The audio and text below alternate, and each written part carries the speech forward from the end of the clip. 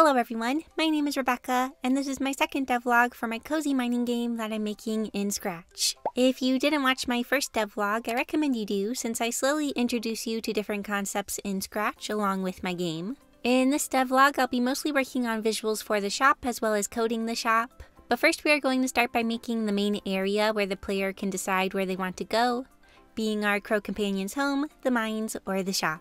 My idea is that this is a little outdoor scene with a tree for the home, a hole in the ground for the shop.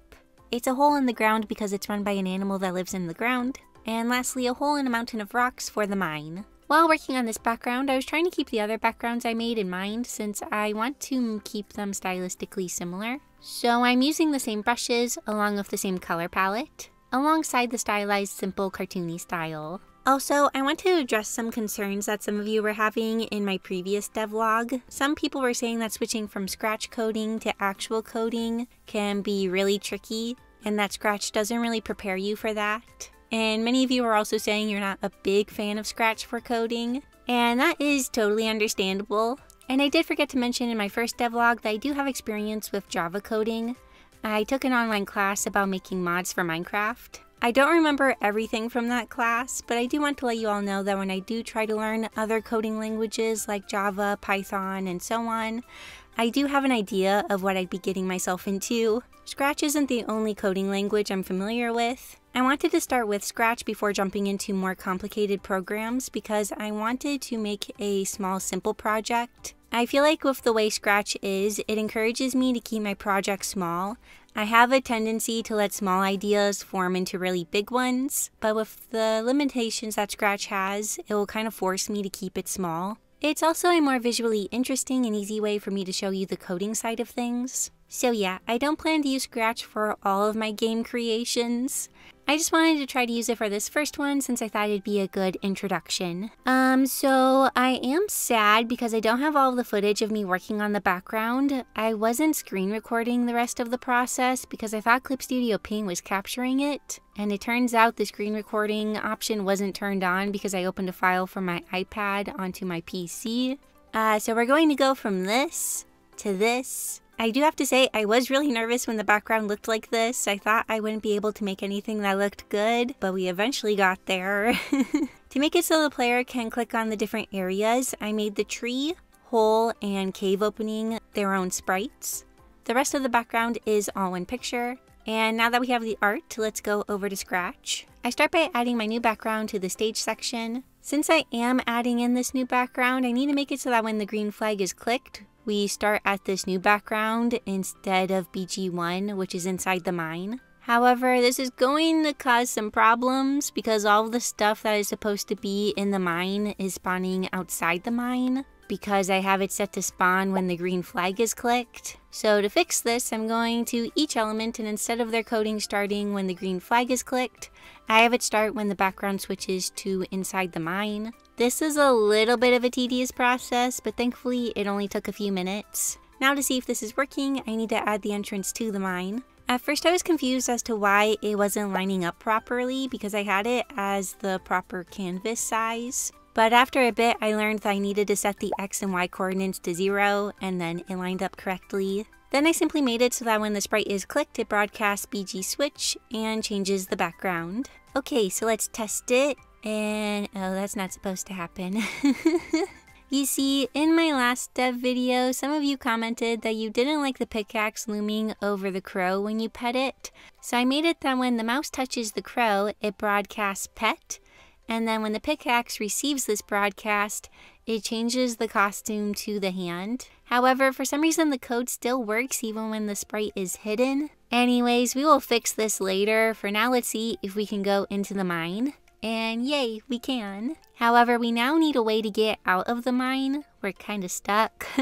However, this is an easy fix. I'll just make it so that the arrow that we use to go backwards in the mines appears in this first area. Easy peasy. Okay, maybe it's not so easy peasy. I could walk you step by step through this process, but long story short, I need to adjust how things show or hide when switching scenes. I also needed to make a duplicate of the arrow, and this duplicate arrow broadcasts a different signal. The broadcast BG switch causes the rocks to respawn in, So I need a new broadcast called To Main. That way I can tell the sprites what they need to do when we're going to the main area. And after all of that, we can now enter and exit the mine and the sprites all load properly. Oh, also to fix the hand wanting to pet an invisible bird, I simply just made the bird super small and kinda off screen when we are in the main area. Now that the mine entrance is in place and functional, I add in the sprites for the home and for the shop. I basically just set their spawn points and copied in a block of code that makes them get brighter when the mouse cursor touches them. I'm copying this from my rock sprites, I believe. Also, I do apologize if it feels like I'm going through things kind of fast. Like I said, I'm not going to reintroduce concepts that I talked about in the first devlog. Anyways, now that we have a shop entrance, we need to make a shop to go to, so let's jump back to Clip Studio Paint. For the shop, I want to have an animal that runs it. I thought it would help the game feel less lonely if there's a character that we can interact with. At first, I was considering the shopkeeper being a gopher. I had some different reference pictures for me to refer to. However, I learned that I'm not very good at drawing gophers, since it's not something I commonly do. Plus, the gopher just wasn't having the vibe I wanted. I started to think of other underground creatures, and I thought of a mole. I find some moles to be really cute. Others are not so cute, I'm sorry. I thought a mole would make for a shopkeeper with the kind of vibe I wanted. I wanted a very chill shopkeeper. For the mole, I went very stylized like how I did with the crow. I kept the features very simple and I actually don't even draw a mouth. I don't know, I just felt like he looks very cute with no mouth. And he probably does have one, it's just like under his nose or something. Many people think that moles don't have eyes when actually they do have eyes. They are just very small and are mostly just for perceiving light. For my mole, I drew him with his eyes closed, kind of like characters you see in anime that always have their eyes closed. After sketching out Mr. Mole, I sketched out the shop. I'm keeping it pretty simple. There's going to be a counter that hides the lower half of Mr. Mole, and then a shelf in the wall that holds all of the merchandise. One of the items we will be able to buy is a pickaxe upgrade. It's just a different coloration of the other pickaxe sprite I made, and the player will need this upgrade to break a rock door that's in the mine. Next up was the line art and coloring. For the mole, I gave him three different expressions being neutral, happy, and annoyed. I made the annoyed expression because I thought it'd be funny if he didn't like it if the player clicks on him. He doesn't like being touched. The counter is going to be its own sprite so that I can place it on top of Mr. Mole, but the back wall will all be one image, and I'll be using it for the background. Once all the art was done in the shop, I added it to Scratch. I'm not going to go step by step for this next part because I was basically just once again making it so that sprites appear properly when changing scenes. And this isn't anything really fancy or complicated, it's just tedious. And I also adjust the arrow to make it so that we can leave the shop. The fun part of this was making Mr. Mole talk and interact. Firstly, I made it so that when he is clicked, his sprite changes to the annoyed expression, he asks the player to not touch him, and then he goes back to his neutral expression. We don't have any items to buy yet, but when we do, he will change to his happy expression, say thanks, and go back to his other sprite. Oh, I also added that he welcomes the player when they enter the shop. Now that we can go into the shop, we need things to buy, so let's make some art for those. Most of the items that the player can buy are customization items for the crow. I made 5 items in total since I felt like this is all that could fit into the shop. I am drawing these items on top of the crow sprite so that I know they will fit the crow. Uh, first, for all the costume items, to make it so the crow can wear them, I thought I would need to remake all of my crow sprites with him wearing the different items. However, I had the idea that I could just overlay the pieces on top of the sprite, and we'll talk more about that when I'm in the coding area. Also, some of you said in my last devlog that I should have made our companion be a canary, since canaries were used in mines as ways to warn miners of carbon monoxide and other toxic gases. And that is a really awesome idea, and I wish I would have thought of that. But we are going to stick with our crow friend for now. Someone did suggest naming the crow Canary, and I did find that funny. I did maybe think maybe I could have another companion that's maybe a canary that like the player can choose from but I don't know if that would get too complicated, so my plan is to just keep the crow for now. Once all the items were done, I saved each one as its own sprite. The canvas for them is about the same size as the one for the crow, and this will help us with sprite placement later. Next I needed to make display versions of the items for the shop.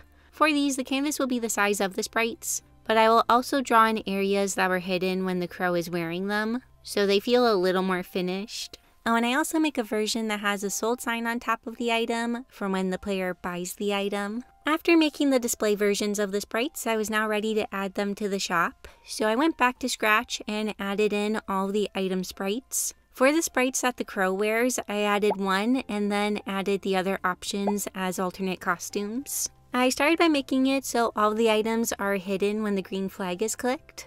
Then I make it so that when the background switches to the shop, the items are shown, set to the proper size, and set the X and Y coordinates to where I want them to be. I repeat this for all of the items. I didn't think of this until now, but I probably should have just fully coded one of the items and duplicated it, and then edit it for that specific item and change the art. That probably would have been easier instead of having to copy each individual block of code to every single item. But it's not really a big deal, I get the same result. Once again, I copy in that block of code that makes the sprite get brighter when my mouse touches it. I wasn't sure how to display the price for an item, so I opted to have the item say how much it costs when the mouse touches it. And then to make the item stop saying the price when the mouse moves away, I have it say nothing. Now the price displays when we hover over the item. Next I need to make the item purchasable when clicked. So when the sprite is clicked, the costume will change to the version with the sold sign. Next I wanted to add a cash register like sound when the player buys the item. Sadly, I couldn't find one in Scratch, so I went over to Pixabay and found one on there to use. And I felt like this one was pretty good. So I make it play the sound effect and change our coal variable by negative 15. If I left my code like this, the player would be able to buy the item even if they didn't have enough coal for it. And I don't think Mr. Mole would be a fan of that. So let's add an if statement. I make it so that if the coal is not greater than 14, the item will say you need more coal. But this is a bit of a problem. Because of this code up here, it kind of overrides what the item says. So the text that says you need more coal only appears for a split second. To fix this, I decided to make a little sign that displays the price and it'll go under each item. After duplicating the sign a bunch of times and telling it where it needs to go, we now have this. I can get rid of the item saying the price, and now I can tell the player that they need more coal when they don't have enough. However, at this point, my brain was like, it's a bit weird to have the item say it when we have Mr. Mole right here. So instead of the item saying the player needs more coal, it's going to broadcast need more. When Mr. Mole receives this broadcast, he will tell the player they need more coal. After doing this, I realized that because now I have Mr. Mole saying that, I could have just kept the item saying its price. But it's okay, I think the little signs are cute. okay, so now we have made it so the player needs the right amount of money. Now I need to make it so the player can only buy the item once. To do this, I make a variable called bot bandana.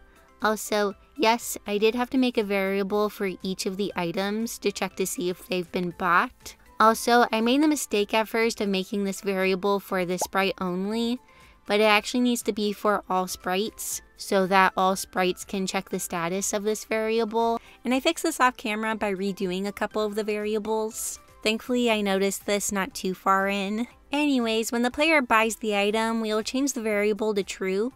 Also, I need to make it so that when the game starts, it is set to false. To make it so the player can't buy the bandana again, I bring in an if statement. So if bot bandana equals true, when the sprite is clicked, the costume switches. I actually changed this later to broadcast sold out and Mr. Mole will tell the player that the item is sold out. I repeat this process for all other items so that they can be sold out. So Scratch doesn't really have a way for players to save their progress. And I want to make some kind of way for the player to not have to redo everything. So I'm going to try to implement codes that the player can enter to unlock things. I'm not going to be implementing the code system in this video, but I will make it so that the code appears when the player buys all the items. I wanted to make sure I could get this to work. this is going to look a bit funny, but to make the code appear when all the items are bought, I start by putting all of the bought item variables into equals true blocks, and then I drag these into a bunch of and blocks. It looks chaotic, but it gets the job done. So if all of these variables are set to true, this sign will appear with the code. Also, I'm going to change the code once the game is released, but this is the one I'm using for filming. You'll have to try to get the code yourself, but you could also just look in the game's coding. Before moving on to the next part of the video, I want to show you the shop in action, so here it is.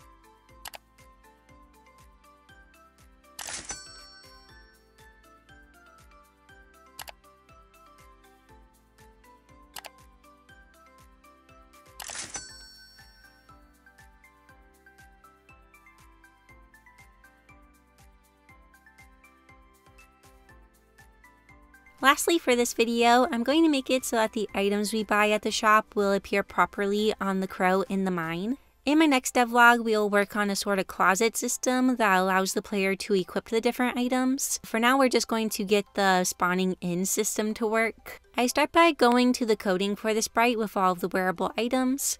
I make it so that when the background switches to BG1, it'll go to where the crow is and also adjust to the proper size. Now, when I look closely at the crow, the placement isn't too bad, but it is a little off.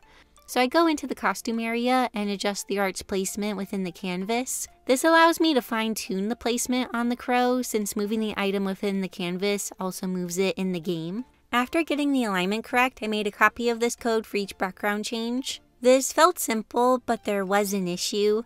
The bandana wasn't moving properly with the crow because of my load screen. Technically, when the background changes, the crow is still in its old spot, but then it moves to its new spot when the loading screen is up. To fix this, I add a 1.2 second delay, that way the code doesn't start until the crow is in its new spot. Oh, also, I remembered that I don't need a block of code for each background change, I can just have the code run when it receives BG Switch like all of the other sprites. I was so worried I wouldn't be able to get this to work properly, but I'm so happy that it does. I'm a little nervous for making the closet system, but I think I have an idea of how I will code that. Lastly, I need to make the pickaxe upgrade work. The point of the upgrade is to break these rocks. So first I make it so the code only runs if pickaxe upgrade bot equals true. If it's not true, the rock will broadcast too strong. And when the crow receives too strong, it'll let the player know that they need a stronger pickaxe. Also, to make it so the sprite changes to the upgraded pickaxe, I simply add this block of code that checks if the variable is true, and if it is, it changes the sprite to the upgraded costume. A part of me wants to show you what it's like when the player breaks the door, but I think I'll keep that as a little bit of a mystery. And so that is all I was able to finish for this video. It was a challenge, but also I really enjoyed making the shop and all of the cute little items for the crow. I also really like how Mr. Mole turned out. I'm adding a bunch of different dialogue options for him that I don't feature in this video because I want you to be able to experience him once the game is playable. Uh, so yeah, I hope you enjoyed seeing the process of this, and if you are looking forward to devlog number 3, please give this video a thumbs up to help support the series. Before we end, I want to thank my super awesome YouTube members and Patreon patrons for their support, it means so much to me. And thank you for watching this video, I hope you enjoyed it, and I'll see you all next week in my next video. Bye!